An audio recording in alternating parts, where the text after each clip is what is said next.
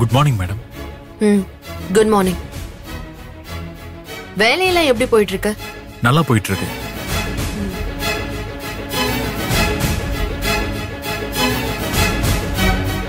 Target தான் reach பண்ண முடியல. என்னது? இல்ல மேடம் லோன் கலெக்ட் பண்றத பத்தி சொன்னேன்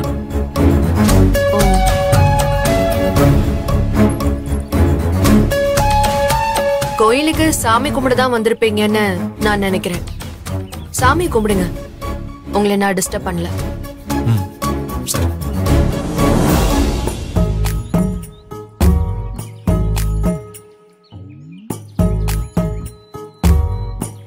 தாயே துளசி கிட்ட பேசுறதுக்கு எனக்கு ஒரே ஒரு சான்ஸ் ஏற்படுத்தி கொடுத்தாயே மேரேஜ்க்கு அப்புறம் டெய்லி உனக்கு பால் அபிஷேகம் பண்றேன். தாயே.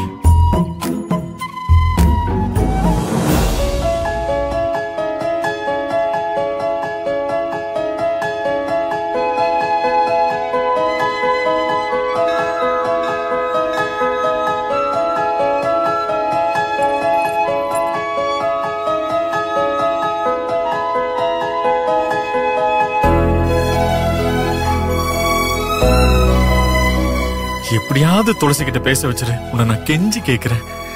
கடவுளே.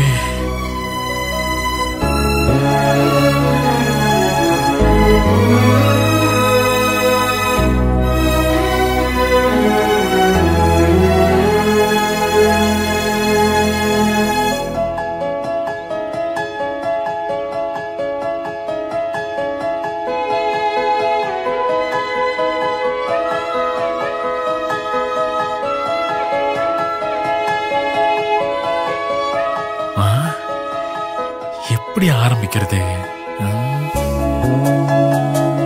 ஆ பின் பக்கமா போய் ஆரம்பிச்சிட வேண்டியதான்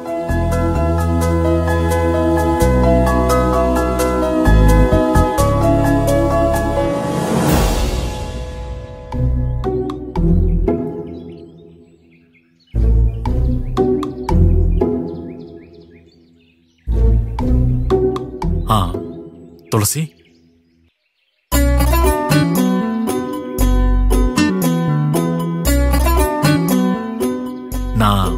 உங்ககிட்ட பேசுறதுக்காக தான் துடிச்சிட்டு இருக்கேன்னு தெரிஞ்சு சந்தியாவை தனியா விட்டுட்டு நைஸா வந்து என்னை கூப்பிட்டதுக்கு ரொம்ப தேங்க்ஸ்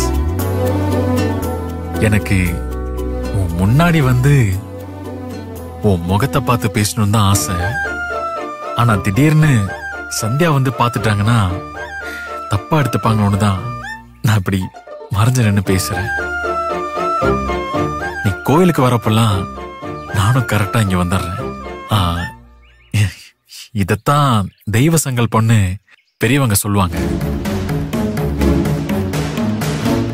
அன்னைக்கு நான் உங்ககிட்ட கண்காணாத இடத்துக்கு போய் ஒன்னா வாழலான்னு சொன்னேன். அதுக்கு நீ கோவப்பட்ட உண்மையாவே சொல்றேன் எனக்கு உன் குடும்பத்தை விட்டு பிரிக்கணும்னு எந்த உள்நோக்கமும் சத்தியமா கிடையாது. உன் கூட நான் சேர்ந்து வாழணும். அது ஒண்ணு மட்டும்தான் என்னோட லட்சியமே. தயவு செஞ்சு புரிஞ்சுக்கோ. இந்த கண்ணாமூச்சி ஆட்டத்துக்கெல்லாம் ஒரு முடிவு கட்டிட்டு உன் வீட்டுல என்னை பத்தி பேச. என்ன பேசுவியா மாட்டிய? என்ன ஒண்ணுமே சொல்ல மாட்டேங்கிற? இருக்கியா போயிட்டியா?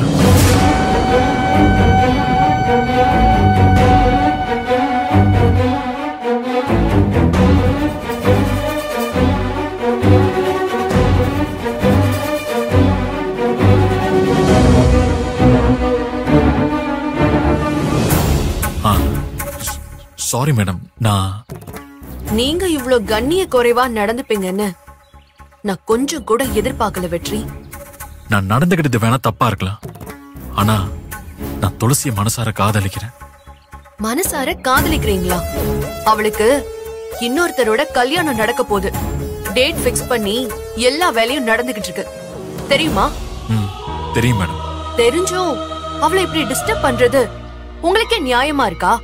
அவ வீட்டுக்கு கட்டுப்பட்டு தான் இந்த மேரேஜுக்கு சம்மதிச்சிருக்காளே தவிர அவளும் என்ன லவ் பண்றா. அப்படிலாம் இல்ல. நானே அவகிட்ட கேட்டேன். உன் மனசுல வேற யாரையாவது நினைச்சுக்கிட்டு இருக்கியான்னு.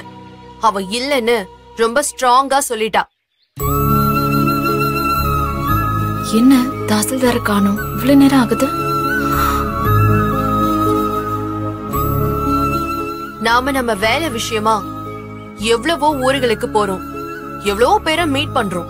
ஆனா அதுல யாரையோ ஒருத்தரை மட்டும் நம்மளே அறியாம நமக்கு புடிச்சு போயிடுது. என்ன பண்றது? நாமளும் சாதாரண மனுஷங்க தானே? நமக்கும் மனசுன்னு ஒண்ணு இருக்கு. ஆனா அதுக்காக எல்லாத்தையும் உதறி தள்ளிட்டு மனசு போற போக்குல போக முடியுமா? சந்தர்ப்ப சூழ்நிலையும் இல்ல சொந்த பந்தமோ ஒத்து வரலன்னா மனசுல ஏற்பட்ட ஆசைய மனசுக்குள்ளேயே போட்டு புதைச்சுக்கிட்டு வந்த வேலையை நல்லபடியா பார்த்துட்டு போய்கிட்டே இருக்கிறது தான் மரியாதை. துளசி மேல உங்களுக்கு காதல் வந்தத நான் தப்புன்னு சொல்லல. ஆனா எப்போ துளசிக்கு இன்னொரு இடத்துல நிச்சயம் ஆயிடுச்சுன்னு உங்களுக்கு தெரிஞ்சதோ? அன்னைக்கே அப்பவே உங்க காதலை நீங்க மறக்கிறதுக்கு கண்டிப்பா ட்ரை பண்ணிருக்கணும். தயவு செஞ்சு இதுக்கப்புறமாவது துளசிய டிஸ்டர்ப் பண்ணாதீங்க. உங்க காதல் அழகான ஒரு குருவி கூடு மாதிரி இருக்கிற குடும்பத்தை அது கலைச்சிடக்கூடாது. உங்களால மறக்க முடியாதுன்னா நல்ல விதமா வேற ஊருக்கு டிரான்ஸ்பர் வாங்கிட்டு போயிடுங்க. இல்ல நான் இப்படிதான் பண்ணுவேன். இதே மாதிரி தான் நடந்துப்பேன் அப்படின்னு நீங்க சொன்னீங்கன்னா நான் கூடிய சீக்கிரத்துல டியூட்டில ஜாயின் பண்ணிடுவேன். அப்போ என் மொத வேலையே ஹையர் ஆபீசர் கிட்ட கம்ப்ளைண்ட் பண்ணி உங்களை டிஸ்மிஸ் பண்றதா தான் இருக்கும்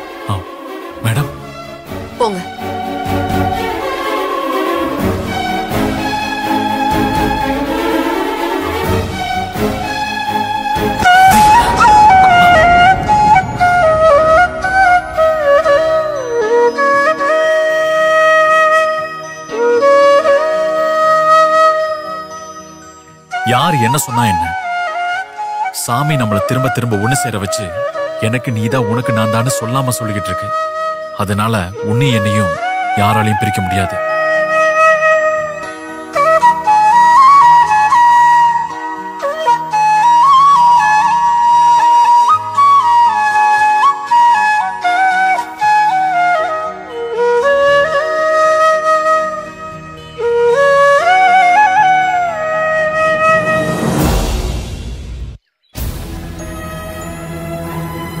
என்னாச்சு? ஆ ஒண்ணும் இல்ல என்ன மறந்து சாமி கும்பிட்டதுல கொஞ்சம் டைம் ஆயிடுச்சு. வா போலாம். ம்.